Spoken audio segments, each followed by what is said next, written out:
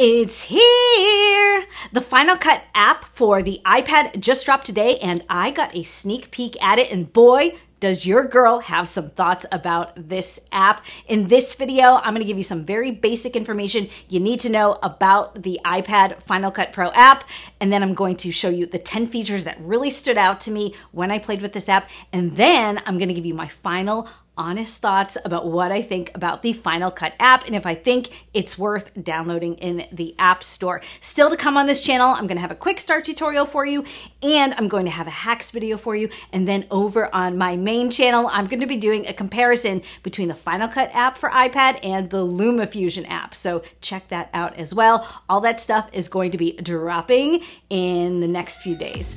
All right, let's first start with the basics, what you need to know. Let's talk system requirements. You can install Final Cut Pro for iPad on your 12.9 inch iPad Pro, 5th or 6th generation, the 11 inch iPad Pro, 3rd or 4th generation, or iPad Air 5th generation with the OS 16.4 or later. Luckily for us, I'm all set up. The first thing I think you need to know about Final Cut for iPad is that the terminology is a little bit different from what you're used to on the desktop app. Instead of libraries, those are now referred to as projects. And instead of projects, what we call projects on the desktop app, they are now referred to as timelines. It's kind of a throwback to what things used to be called in Final Cut Pro version 7. And it definitely gave me pause and made me wonder like, are they going to be making changes to the Mac app? Really interesting. Another thing to know is that Final Cut for iPad is a subscription model, $4.99 a month or $49 for a year with a 30-day free trial. I have a lot of thoughts about that. We're going to talk about that later. And then the last thing to know is that you can download this very dope demo project right into the app so you can get started editing right away, which is super great. It definitely made me super excited to get my hands on this app. So those are the basics. Now we're going to get into those top 10 standout features, starting with the jog wheel. The jog wheel makes navigating your timeline so amazing. When I saw the jog wheel in this app, I went bananas for it because I'm old school. And I remember the days of tape to tape editing where we actually had like the jog wheel where you would like push it down to move frame by frame and then push it again to skim really fast. To access the jog wheel, just hit this little button here at the top right of the UI. Then you'll get this little rectangle here to access the jog wheel. Just hit that rectangle and it opens right up and you can use the jog wheel to navigate your playhead around your timeline or if you're selected on a clip, you can opt for the nudge feature and then this way you can just nudge your clips frame by frame down in your timeline. The jog wheel is so great to me. It's got to be my favorite feature because it's just so old school and just so genius in its simplicity because if I have any complaints about working on anything intricate on an iPad, it's the precision is really hard for me with my little finger. Even with the Apple Pencil, the jog wheel like solves that problem. And I just love how old school it is. I am here for the jog wheel. All right, the next feature you need to know in the Final Cut app for iPad is live drawing. The live drawing feature allows you to doodle right in your videos and have them either animate on or not. To access live drawing, all you got to do is hit this icon here. And then this should look familiar to you if you have an iPhone. These are all your markup tools. And you can just switch between these tools, switch between all these colors, and you can literally draw right on the video. Hit the done button, and now your live drawing is in your timeline and it actually draws right on. Do you see that? You can reposition it just like any other clip, and you can add effects to it too. Live drawing is super fun. I didn't think I would really love it, but I had a lot of fun with my practice project with the live drawing feature. All right, the next feature you definitely need to know about is the scene removal mask. Oh my goodness, the scene removal mask is such a great feature that we've been seeing in a lot of video editing apps. It allows you to like cut the background off of a video clip even if it's not shot over a green screen, which I think is amazing. And it's about time that Final Cut adopted this technology. In my practice project, I used it to have this golf ball roll in front of my written on text. Personally, I would love to see Final Cut adopt more of these really fun effects in the mobile app and, of course, in the desktop app as well. All right, the next standout feature to me was this new color correction feature called Color Adjustments. Just head over to your effects browser to find the Color Adjustments effect, select it in your browser, select a clip in your timeline, and hit the Apply button. Then over here in the inspector, you can adjust your colors using these sliders. And what's nice is you can adjust the warmth on, let's say, the highlights, the midtones, or the shadows, as well as the tints individually. The next feature you definitely need to know about is the Pro Camera feature right here in the iPad app. You can actually access your iPad's camera right through this app and record clips directly into your project. But that's not all. This new camera in the Final Cut app has a lot more features and control than the standard camera app. And it even tells you how much space you have on your iPad for this media that you're capturing. You can control the white balance. You can even check your exposure with these zebra lines. And you can have auto or manual focus with this dial here. It looks really similar to the jog wheel. Once you're done recording, your media drops right into your Final Cut project on your iPad. It's super convenient. The next standout feature for me was the auto crop feature. This is very similar to Smart Conform, but it uses machine learning to better track objects in your shots. Let me show you what I mean. You can see this golf outing project we've been looking at. It is a 16 by 9 aspect ratio, but I could duplicate this project and then change the timeline settings to, let's say, portrait now let's open up our project and you'll see that my video is vertical, but this clip is being shrunk down to fit into that vertical video format. Let's fix that with the auto crop tool. I'm gonna select this clip, head on over to inspect, head over to the transform tools. Let's go to the crop tools and let's select auto crop. And then I'm going to hit start scan. It's going to analyze my clip and it's going to track my subject in the shot like I said, this is different from the Smart Conform feature that we've seen in the desktop app. It's a little bit smarter, it uses machine learning, and it really tracks that subject in the shot. All right, let's move on to the next standout feature that I really love. It's called Hover Skim. For this one, you're gonna need your Apple Pencil, and watch this. I can hover my pencil over my timeline and skim through all of the clips in my timeline. How cool is that? Do I need this feature? No, I don't. Does it make me feel like Harry Potter though? And that makes me very happy? Yes, it does. All right, the next feature you need to know about is multicam editing in the iPad app. Multicam editing in the iPad app works really similar to multicam on the Mac app. Just select the first clip you want to sync, hit the select button and then hit the coordinating clip. Then hold down your finger on either of those clips and select create multicam. Select that new multicam clip in your browser, hit the overwrite button to drop it into your timeline, and then hit the multicam button at the bottom of the screen. Run your playhead over the clip, and you will see your angles appear at the bottom of the timeline. And then to switch between them, just hit the play button, and then switch, switch, switch. If you want to color correct, just long press the clip, hit edit angles, and you get this window where you can preview both your angles and you can modify them in here, like by adding effects and color correction tools or resizing them here.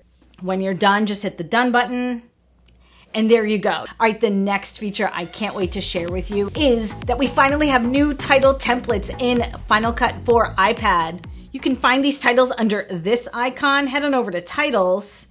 And looky here, you guys, we have all new titles and even a few new transitions for iPad. Hallelujah! It has been so long since they updated these titles. We did get a few new ones recently with the social category on the desktop app, but I'm hoping this is a sign of more to come, more updated title templates for the iPad Pro.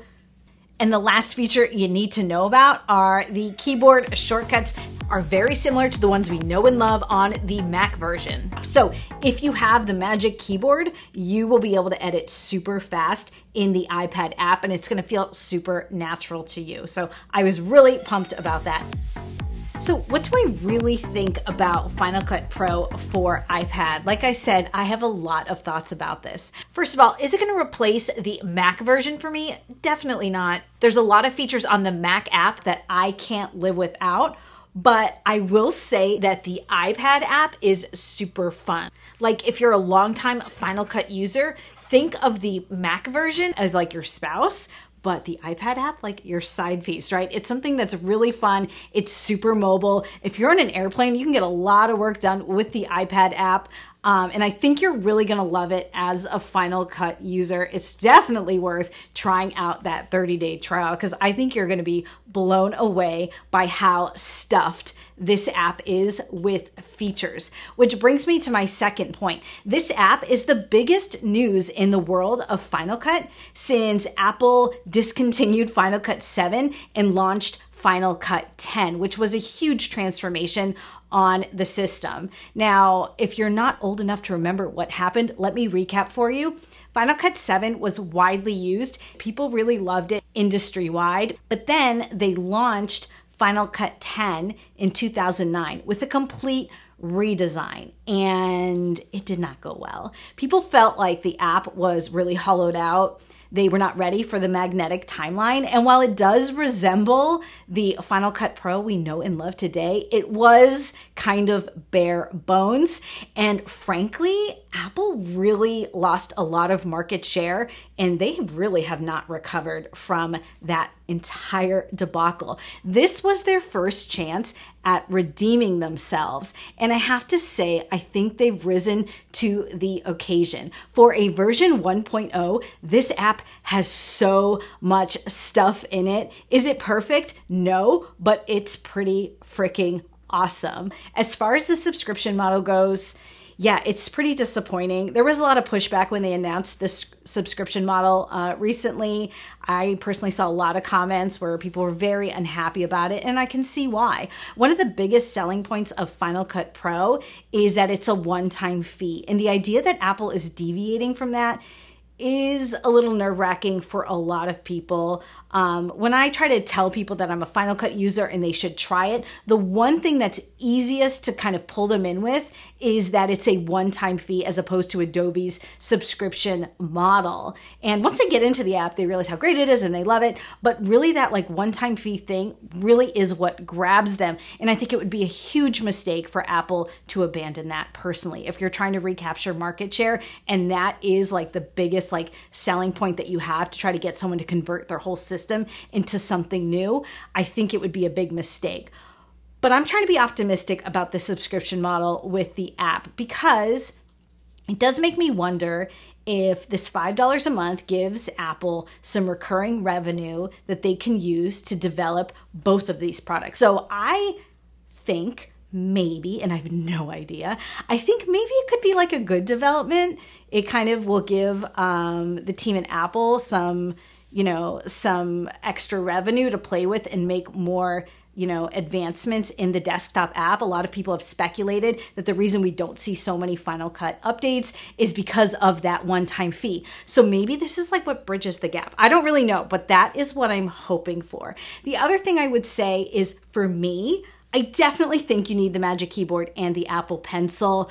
Um, I feel like, you know, playing around with your fingers on the screen for me isn't my favorite way to work, especially if you have long nails. And I don't really have long nails right now, but when I do, it is so hard to do anything on the iPad. So for me, having access to the keyboard shortcuts, having that Apple Pencil is really a valuable tools. I would definitely recommend you spring for these, and I will link to my setup down below if you want to check it out. One other feature I think could use improvement is the live drawing feature. As much as I love it, I would love to see more types of strokes in this menu right here. I think there could be a lot of potential with this feature, and I'm super excited about it. So I'd like to see it built out a little bit more. I also know that there's going to be the availability of third party effects, transitions, and titles that will work with the Final Cut Pro for iPad app. So I can't wait for that too. Another thing is the pro camera feature. Personally, I don't see myself doing a lot of shooting with the iPad. I think the idea is that you can like rig it up on a tripod and set it up to shoot an interview as an extra angle.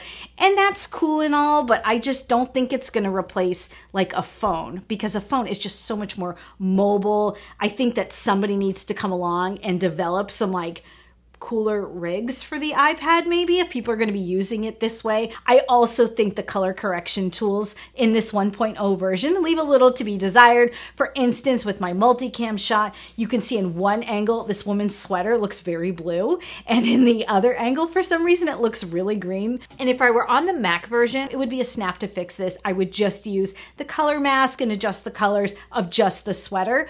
But in the iPad version right now, that is not possible. So I definitely think you might not be able to do all of your finishing work in the iPad app if you're looking for something super professional. I do think this app is going to be great for anyone who's new to editing. I think it's going to be a great gateway for people who are learning to edit to jump into that full Mac version over time. And I think it's a great tool. I think they did a great job with it. I know there's more to come with this, and I'm super excited about it. So, those are my honest thoughts about the Final Cut Pro for iPad app. You guys, do you love the app? Are you super excited about this development? That's all I have for this video. Stay tuned for the quick start video. Stay tuned for the hacks video. Make sure you subscribe to my other channel for the LumaFusion versus Final Cut Pro iPad video. Thanks for hanging out with me on this very exciting day. I'll see you again.